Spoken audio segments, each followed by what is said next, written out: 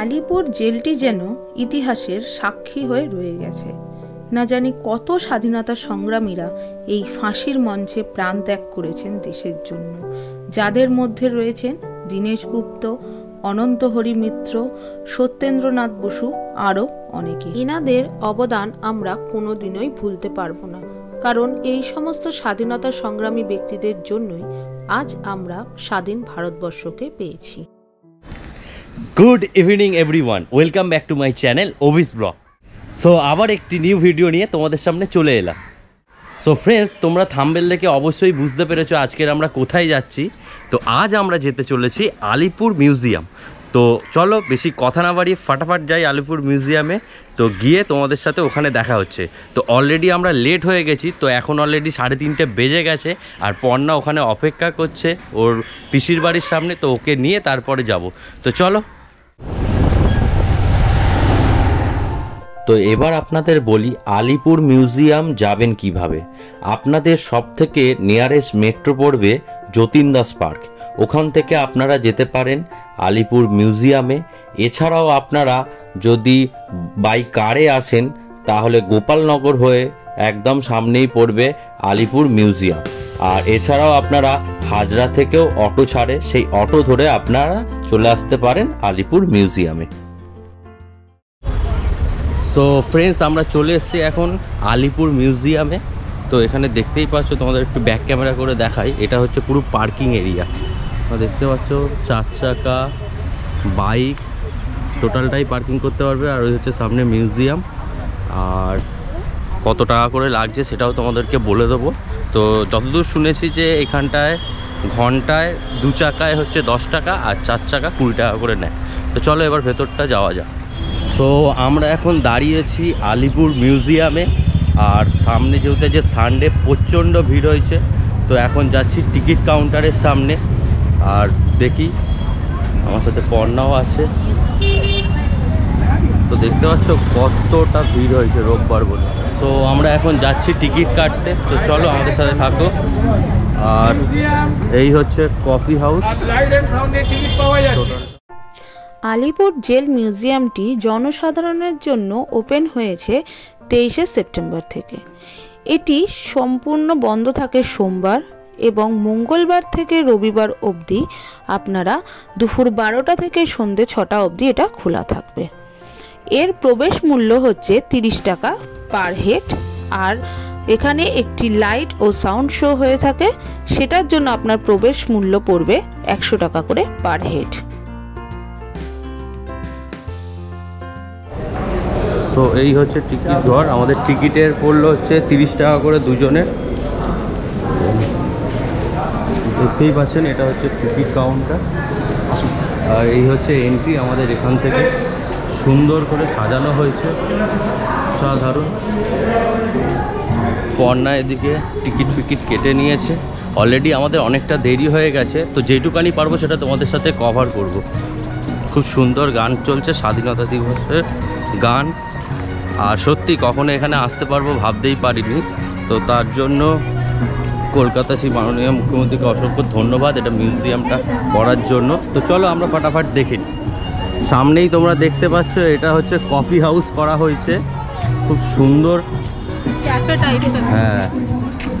তো তোমার কেমন লাগছে? কখনো ভাবতে পেরেছিলে এখানে আসতে পারবে? কোনোদিনও ভাবিনি। আগে এমনি ছোটবেলায় দেখতাম বাসে করে যখন যেতাম বাইরে করে দেখতাম।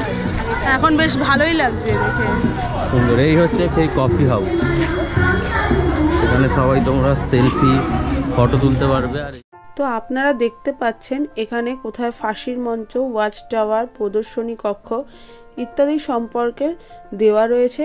এছাড়াও আপনারা দেখতে পাবেন সামনেই শহীদদের উদ্দেশ্যে একটি স্মৃতিস্তম্ভ তৈরি করা আছে। আপনারা সামনে দেখতে পাচ্ছেন আলিপুর মিউজিয়ামের মানচিত্র। এটি দেখলে আপনারা বুঝতে পারবেন কোথায় কি অবস্থিত। আর জায়গাটা অসাধারণ, সুন্দর, খুব পরিষ্কার, পরিচ্ছন্ন। তো সবার আগে আমরা প্রথমে যেখানে গেলাম সেটি হলো ফাঁসির মঞ্চ। তো চলুন আপনাদেরকে ফাঁসির মঞ্চটা একটু দেখিয়ে দিই। তো বন্ধুরা, সামনে একটু এগোলেই তোমরা দেখতে পাবে ফাঁসির মঞ্চ, নেহেরু সেল নেতাজির সেল, এছাড়াও চিত্তরঞ্জন দাসের সেল। তো বিভিন্ন ব্যক্তিত্বদের সেল এখানে অবস্থিত।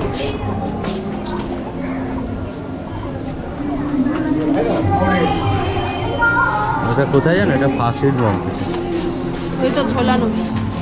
এখন লাগছে নস্টালজি হ্যাঁ? হ্যাঁ একদম।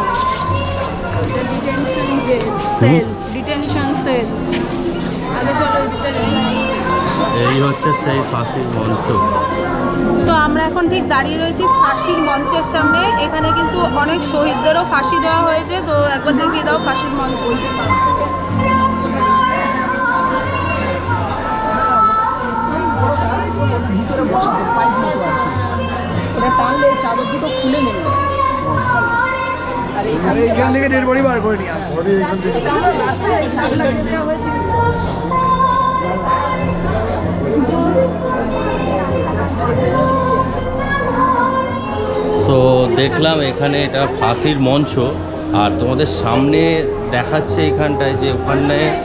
যাদের যাদের ফাঁসি ঘোষণা করা হতো, তো তাদেরকেই সামনের এতে রাখা হতো। তোমাদের ব্যাক ক্যামেরা করে একটু দেখাচ্ছি। এই যে সামনের যে সেলটা দেখতে পাচ্ছ, এইখানে সব ফাঁসির লোকদের রাখা হতো। তারা লাইভ দেখতে পারতো এখানে ফাঁসি হলে। দেখতেই পাচ্ছ তোমরা। তো খুবই একটা কষ্টজনক, যাদের ফাঁসি হতো তারা লাইভ ওখান থেকে দেখতে পারতো এখানে যাদের ফাঁসি দেওয়া হতো। তো সত্যি এটা একটা ইতিহাসের সাক্ষী। তো চলো সামনে আরও কিছু আছে তোমাদের সামনে তুলে ধরবো।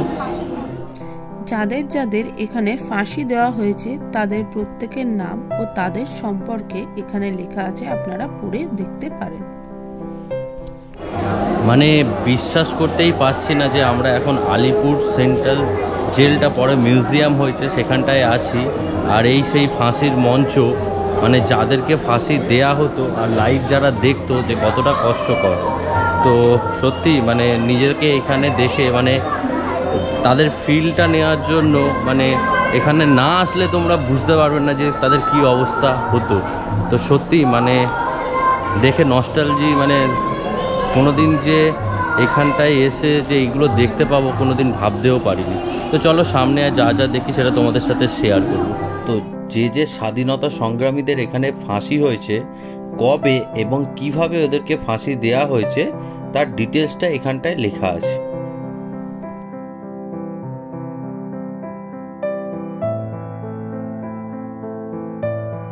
তো যাদেরকে ফাঁসি দেয়া হতো, তাদের পোস্টমার্টম করার জন্য এই সামনের একটা রুম আছে। এই রুমটায় এসে এখানে পোস্টমার্টম হতো, ডক্টররা করতো। এই হচ্ছে সেই ফাঁসির মঞ্চ। আর এই ঘরটা দেখছেন এখানটায় পোস্টমার্টম করা হতো। সাইড দেখি তো। এই হচ্ছে সেই ঘর। এখানে যারা ফাঁসি দেওয়া হতো, তারপর লাশটা বার করে এইখানটায় পোস্টমার্টম করা হতো তাদেরকে। যে যে কয়েদিদের ফাঁসির ঘোষণা হয়ে যেত, তাদেরকে সবার থেকে আলাদা এই সেলে এনে রাখা হতো। এই ছোট্ট সেলের মধ্যেই তাদেরকে বন্দি করে রাখা হতো।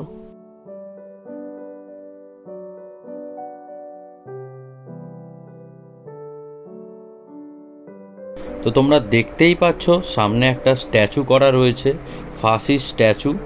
তো এইখানটায় সব কয়েদিদের এনে জেরা করা হতো। আর সামনের যে জেলটা দেখতেই পাচ্ছ, এই সেলের মধ্যে কয়েদিদের রাখা হতো। এক একটা সেলে এনারা দুজন করেই থাকতেন এই সেলগুলোতে। তো তোমরা দেখে নাও একটু সেলের ভেতরটা। এই সামনের যে সেলটি দেখতে পাচ্ছেন, এটি হলো দীনেশ গুপ্তর সেল। দেখে নিন, ওনার একটা স্ট্যাচু করা আছে এখানটায়। তো আমরা ফাঁসির মঞ্চ দেখে বেরোলাম, তো এরপর আমরা যাচ্ছি নেক্সট দেখি কি দেখাতে পারি তোমাদেরকে। তো এখানে আপনারা দেখতে পাবেন নেতাজি সুভাষচন্দ্র বসুর সেল, বিধানচন্দ্র রায়ের সেল, চিত্তরঞ্জন দাসের সেল এবং যতীনমোহন সেনগুপ্তর সেল আমরা নেতাজি সুভাষচন্দ্র বোসের সিআর দাসের সবার সেল দেখার জন্য এসেছি। তো এত লাইন এখানে প্রচুর লাইন পড়েছে মোটামুটি মানে লাইন দিতে গেলে এখানে টাইম কাভার হয়ে যাবে। তো আমরা আশপাশটা আর যে সাইডগুলো আছে সেগুলো ঘুরি আগে তো ঘুরে এসে তারপরে দেখব দেখা যায় কিন্তু তো তো সামনেই দেখতে পাচ্ছেন নেহেরু সেল তো এখানেই ইনি বন্দি হয়েছিলেন।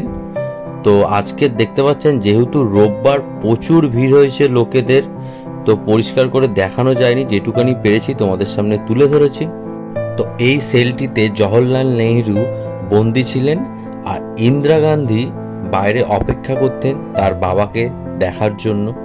তো নেহেরু সেলের ঠিক উল্টো দিকেই আছে লাইব্রেরি আর গুদামঘর। তো চলো তোমাদেরকে ওটা দেখিয়ে দিই। একদম ঠিক উল্টো দিকেই পড়বে। ব্রিটিশ আমলে আলিপুর জেলের কয়েদিদের জন্য এই কক্ষটি গুদামঘর ছিল। এখানে সমস্ত শস্য এনে রাখা হতো। আজ সেটাকে লাইব্রেরি আর সেমিনার হলে পরিণত করা হয়েছে। এখানে স্বাধীনতা সংগ্রামী মানুষদের সম্পর্কে প্রচুর বই আছে। আপনারা চাইলে এখানে বসে পড়তে পারেন এবং আপনাদের এই জায়গায় এসে কেমন লেগেছে সেই সম্পর্কে আপনারা লিখতে পারেন। তো আমরা এখন দাঁড়িয়ে রয়েছি লাইব্রেরি রুমের মধ্যে। তো এখানে আপনারা চাইলে কিন্তু চিঠিপত্র লেখা মানে নিজেদের কীরকম কি অভিজ্ঞতা এই সমস্ত হ্যাঁ ওপিনিয়ন আপনারা কীরকম কী রিভিউ দিয়েছেন সেগুলো কিন্তু আপনারা লিখতে পারেন লিখে ওই যে ওখানে সব টাঙিয়ে দেওয়া তো এখানে সবাই বসে কিন্তু লিখছে আপনারাও চাইলে লিখতে পারেন। ইতিহাসের সাক্ষী হচ্ছে এই আলিপুর জেল। তো এইটি পরবর্তীকালে মিউজিয়ামে পরিণত করা হয়েছে। তো চলো তোমাদেরকে আরও কিছু আমরা দেখাই। টোটাল এরিয়াটা অনেকটা বড় আছে। তোমাদের প্রায় ঘুরে কভার করতে দু আড়াই ঘণ্টা লেগে যাবে। তো আমরা যেটুকানি পারব সেটা ছোটোর ওপর থেকে তোমাদেরকে দেখিয়ে দেবো শর্ট করে কতটা দেখানো যায়। তো চলো। এখানেও সেল রয়েছে। এটা হচ্ছে এক হ্যাঁ এটা এক আর দু নম্বর সেল আর ওদিকটা তিন নম্বর সেল তো চলো তোমাদেরকে দেখিয়ে দিই। ওই হচ্ছে এক আর দু নম্বর সেল তো চলো তোমাদের ভেতরটা দেখিয়ে দিই।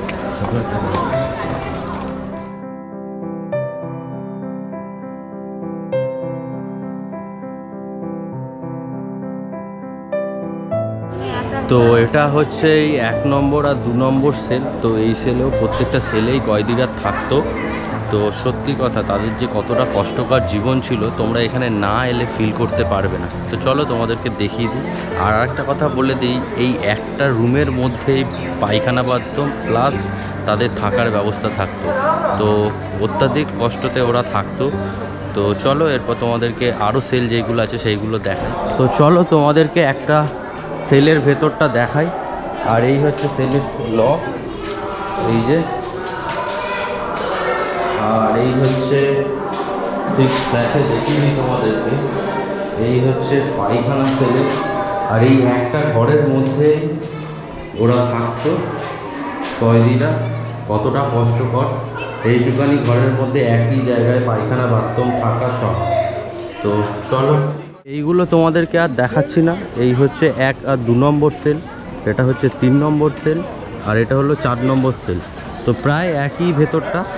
তো চলো এরপর আরও যেগুলো পারব দেখা তো এখন আমরা যাচ্ছি চার নম্বর সেলে তো চলো তোর ওপরেও থাকতো লোক, ওপর নিচে দুটোতেই থাকতো। ওই অপোজিটেও তোমরা দেখতে পাচ্ছ, এটা যতদূর মনে হয় তিন নম্বর সেল তো তোমাদের দেখিয়েছি ওটা। এই আলিপুর মিউজিয়াম কিন্তু ইতিহাসের সাক্ষী থেকে গেল। তো সত্যি মানে কোনোদিনও যে এই মিউজিয়ামটা এরম ওপেন হবে, আমরা যে এরকম জেলের ভেতরে এসে দেখতে পাবো, ভাবা যায়নি। তো সত্যি অসাধারণ। তোমাদেরকে বলে দিই, তো তোমরা এইখানটায় আসতে গেলে এখানে বারোটা থেকে ছটা অবধি টিকিট পাবে। আর টিকিটের মূল্য হচ্ছে তিরিশ টাকা পার হেড। আর এখানে আর একটা লেজার শোও হয় সেই লেজার শোটা দেখতে গেলে তোমাদেরকে আসতে হবে ওই সন্ধ্যের দিকে বা তোমরা নর্মালি এসে সব ঘুরে দেখার পর তারপরে দেখতে পারো। তো ওটার মূল্য হচ্ছে ওই লেজার শোটা দেখায় সেটা একশো টাকা। আর একটা বলে দিই, ওটাতে কিন্তু ভিডিও করতে দেয় না। তো তোমরা যারা যারা ভাববে লেজার শোতে ভিডিও করতে পারবে, তো তোমরা ওটা পারবে না। তো ওভারঅল তোমরা সব কটাই করতে পারবে, আর টিকিট কাউন্টার যেখানে টিকিটটা কাটছে, সেখানেও ভিডিও করতে পারবে না, ওটা বাদ দিয়ে সব কিছুই তোমরা করতে পারবে। তো চল। আপনারা সামনে যেটা দেখছেন, সেটা হলো আলিপুর জেলের ওয়াচ টাওয়ার এখান থেকেই কিন্তু কয়েদিদের উপর নজর রাখা হতো, যাতে তারা কেউ পালিয়ে যেতে না পারে। আর আপনারা দেখতেই পাচ্ছেন যে কতটা পরিমাণে ভিড় হয়েছে, যার ফলে আমরা এর উপরে আর যেতে পারিনি, তাই আপনাদেরকে সামনে থেকেই দেখিয়ে দিলাম। তো আমাদের সামনে তোমরা যেটা দেখতে পাচ্ছ, এটা হচ্ছে ঐতিহাসিক কারাগার। তো এই যে এখানে হেডিং দেয়াই আছে। তো চলো এরপর আমরা যাচ্ছি ঐতিহাসিক কারাগারে।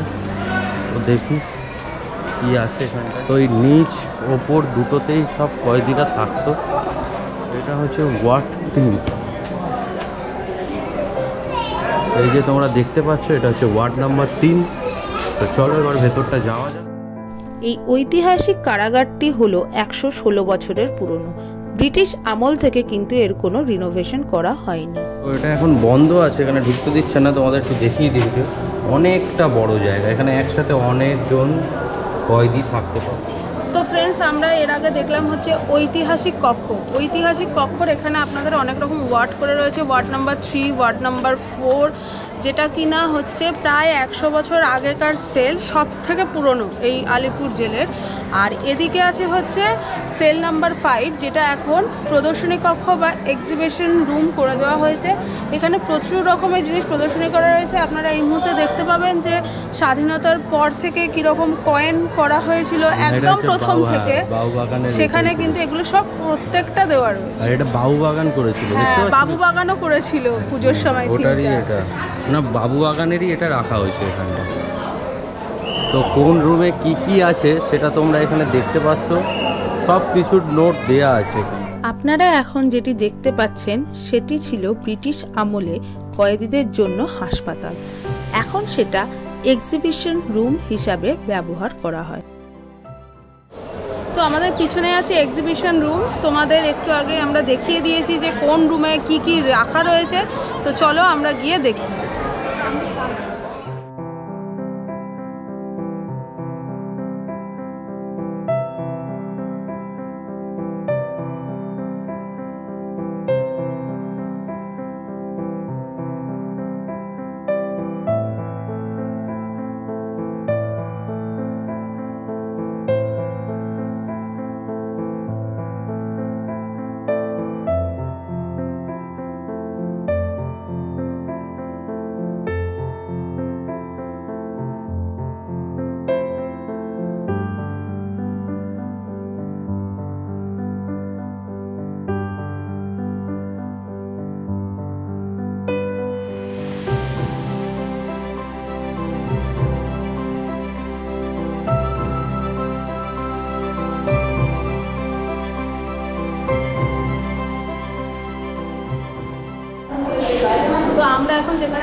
রয়েছি সেটা হচ্ছে ব্রিটিশ আমলে আলিপুর জেলের হাসপাতাল ছিল।